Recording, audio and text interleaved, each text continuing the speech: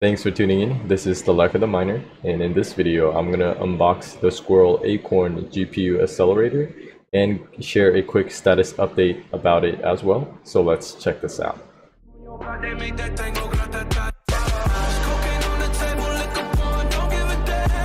Okay, so there's a company called SQRL Squirrel, and they sell mining hardware.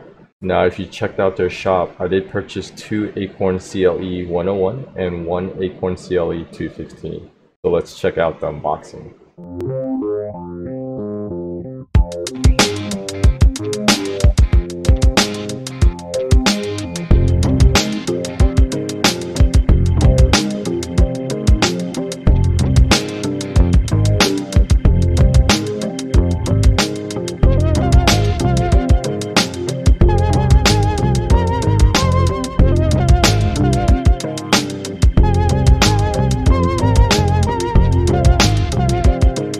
Alright, so I do want to mention that I did install it in my computer, so let's check that out.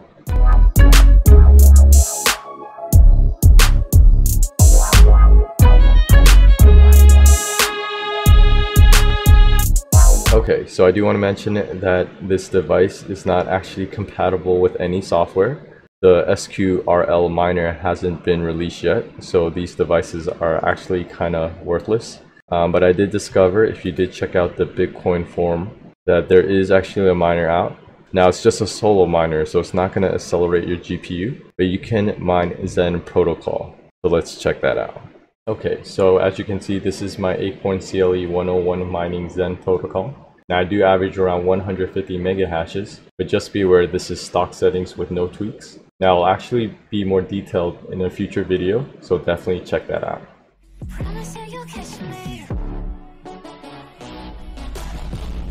Alright, so this was just a quick status update of the SQRL Acorns, and I'll have future videos when new updates come out. But of course, thanks for watching, and always, happy mining.